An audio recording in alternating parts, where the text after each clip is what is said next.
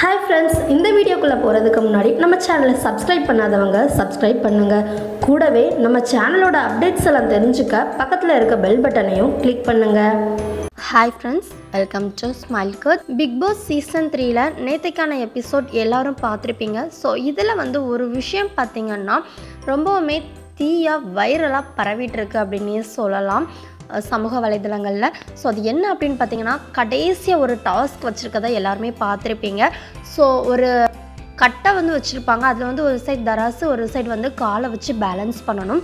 அதில் வந்து ஐந்து கட்டைகளை வந்து கரெக்ட் கரெக்டாக நிற்க வைக்கணும். ஆனால் அது வந்து கீழே விழுந்துடக்கூடாது காலை வச்சு தான் பேலன்ஸ் பண்ணணும். அந்த மாதிரி டாஸ்க் நடந்தது. இதில் வந்து ஃபஸ்ட்டு பார்த்தீங்கன்னா சேரன் அவுட் ஆகி வெளியில் போயிட்டாரு. அதுக்கப்புறமா தர்ஷனும் உடனே வெளியில் போயிட்டாரு. அதுக்கப்புறமா பார்த்தீங்கன்னா ஷெரின் நினைக்கிறேன். ஆ ஷெரின் வந்து அவுட் ஆகி வெளியில் போனாங்க. அப்புறமா சாண்டி மூணாவது கட்டை அடுக்கிட்டு இருக்கும்போதே அவர் வந்து பேலன்ஸ் இல்லாமல் அவரும் வெளியில் போயிட்டார். கடைசி ரொம்ப டஃப்பாக வந்து இது பண்ணது அப்படின்னு பார்த்தீங்கன்னா லோஸ்லியா கவின் அண்ட் முகின். இந்த மூணு பேரும் தான் கடைசி வரைக்கும் நின்றுக்கிட்டு இருந்தாங்க. இதில் பார்த்தீங்கன்னா உண்மையான ஒரு டஃப்பான காம்படிட்டராக இருந்தாங்க லாஸ்லியா நேற்று ஏன்னா ரெண்டு பாய்ஸில் அவங்க மட்டும்தான் கேர்ள்ஸு ஸோ அவ்வளோ ஃபிசிக்கல் டாஸ்க்கு நல்லா செய்யக்கூடிய தர்ஷனே அந்த டைமில் வந்து என்னால் முடியலை அப்படின்னு சொல்லிட்டு வெளியில் போயிட்டாரு. ஸோ இப்படி இருக்க லாஸ்லியாக வந்து ஒரு டஃப் கொடுத்துருக்காங்க அப்படிங்கிறது இந்த விஷயத்துலேருந்து நமக்கு தெரிய வருது.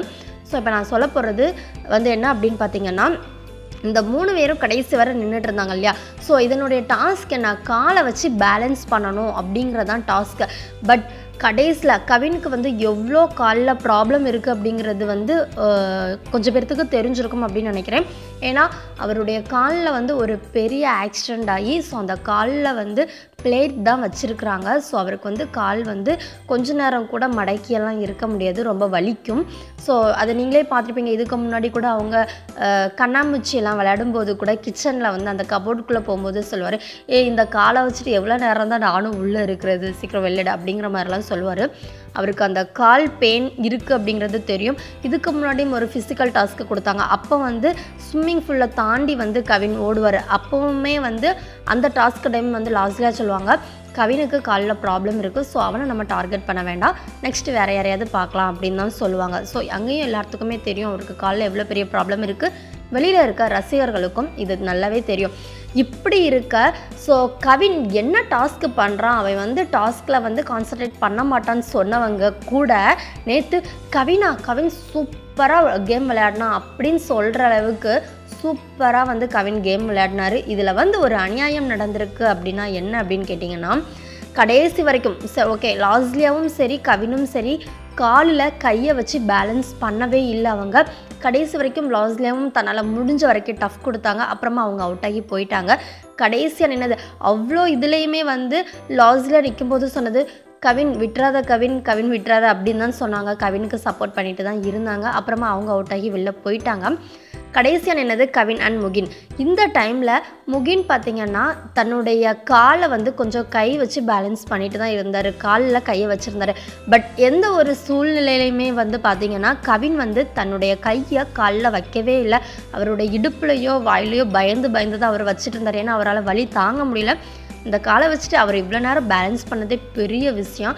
ஸோ இந்த மாதிரி இருக்கும்போது அவரால் கண்டிப்பாக நிற்க முடியல அப்படிங்கிறது எல்லாராலையுமே உணர முடிந்த ஒரு விஷயம். ஸோ இப்படி இருக்கா? வந்து வின் பண்ணிட்டாரு அப்படின்னு இப்போ சொன்னாங்க. இது எந்த விதத்தில் நியாயம்? ரெண்டு பேர்த்துக்குமே கொஞ்சம் தான் டிஃப்ரென்ஸ் இருந்தது. அவங்க வந்து வின் பண்ணது. அப்படி இருக்க கவின் நியாயமாக விளையாடினாரு. அவர் வந்து காலில் கையை வைக்கவே இல்லை. பட் முகின் வந்து காலில் கையை வச்சிட்டு இருந்தார் பட் வந்து பிக் பாஸ் கவனிக்காமல் முகினை வந்து வின்னர்னு சொல்லிட்டாங்க. கவின் வந்து நெக்ஸ்ட் ரன்னர் ஆஃப் அது சொல்லியிருக்காங்க. பட் இந்த டிக்கெட் டு ஃபினாலியில் வந்து டாஸ்கில் பார்த்தீங்கன்னா கவின் தான் வின்னர் பட் இது வந்து ச- சரியில்லை. அவர் காலில் வந்து பேலன்ஸ் பண்ணார்ல கை வச்சு. அப்போ கவின் தானே வந்து வின்னர் அப்படிங்கிற மாதிரி. இப்போ வந்து நிறைய புகைப்படங்களாக இருக்கட்டும் அந்த குறும்படமாக இருக்கட்டும் நிறைய வந்து இப்போ சமூக வலைதளங்களில் வைரலாக பரவிட்டுருக்கு. ஸோ இதை சண்டே ஆர் சாட்டர்டே வந்து கமல் கேட்பாரா அப்படிங்கிறத பொறுத்து இருந்தால் பார்க்கணும். அது மட்டும் இல்லாமல் இந்த விஷயம் பிக் பாஸ்க்கு போய் கவினுக்கு அந்த ஃபஸ்ட்டு பிளேஸ் கொடுக்குறாங்களா அந்த ஏழு மார்க் அது வந்து கொடுக்குறாங்களா இல்லையா அப்படிங்கிறதும் நம்ம பொறுத்திருந்தான் பார்க்கணும். ஸோ சம்டைம்ஸ் இது நடக்கிறதுக்கு வாய்ப்பும் இல்லை. பொறுத்திருந்து பார்க்கலாம். இதுக்கு முன்னாடியும் ஒரு டாஸ்கில் மது வந்து கண் அவங்களுக்கு கிளியராக தெரிஞ்சு அவங்க கரெக்டாக வந்து அந்த கேப்டன் அப்படிங்கிறத வந்து செட் பண்ணிட்டாங்க அப்படிங்கிற மாதிரி ஒரு குறும்படம் போச்சு. பட் அதுக்குள்ளே வந்து அவங்க வெளியில் வந்துட்டாங்க. ஸோ இந்த மாதிரியான ப்ராப்ளம்ஸ் இருக்குது ஸோ இதை வந்து இனி இப்படி சமூக வலைதளங்களில் வந்து இப்போ வைரலாக போயிட்டு இருக்கிறதுனால இதை பற்றி கமல் கேட்பாரா? இல்லை பிக் பாஸும் இதுக்கு அடுத்த ஸ்டெப் எடுப்பாங்களா அப்படிங்கிறத பொறுத்திருந்து பார்க்கலாம். ஸோ உங்களுடைய கருத்து என்ன? முகின் பண்ணது சரிதான் அப்படின்னு நினைக்கிறீங்களா? இல்லை இந்த இதில் வந்து கண்டிப்பாக கவின் தான் வின் பண்ணணும். அவர் வந்து நியாயமாக விளையாடினார் அப்படின்னு நினைக்கிறீங்க. கமெண்ட் தெரியப்படுத்துங்க. ஸோ எப்படி இருந்தாலும் ரெண்டு பேருமே வந்து ரொம்ப ரிஸ்க் எடுத்து தான் விளையாடினாங்க. பட் இருந்தாலும் கவினுக்கு இது வந்து ஒரு கஷ்டமான ஒரு சூழ்நிலை அப்படிங்கிறது உண்மை. ஸோ அவங்களுடைய ஹேட்டர்ஸ் அப்படின்னு நினைக்காம மனுஷத்தன்மையாக நீங்கள் யோசித்து பார்த்தீங்கன்னா கவினுக்கு இது ரொம்பவுமே கஷ்டமான ஒரு இது தாங்க ஏன்னா ஹேட்டர்ஸ் உடனே சொல்லுவாங்க. ஏன் அவனுக்கு மட்டும் தான் காலில் ப்ராப்ளம் இருக்கா? ஏன் வேறு யாருக்கும் இல்லையா? அப்படின்னு சொல்லுவாங்க. ஸோ ஒரு மனிதாபிமானத்தில் யோசித்து பார்த்தா அந்த இடத்துல அவர் பண்ணது நியாயம் அப்படின்னு எல்லாத்துக்கும் தோணும். அதுதான் நானும் பேச வந்தேன். பட் இதில் வேறு யாரையுமே வந்து நான் சொல்லலை. முகினும் சூப்பராக டஃப் கொடுத்தாரு. சூப்பராக விளையாடினாரு. அவர் பண்ண ஒரே ஒரு தப்பு கையை வச்சு காலை பேலன்ஸ் பண்ணது மட்டும்தான். வேறு எதுவுமே இல்லை. தேங்க்யூ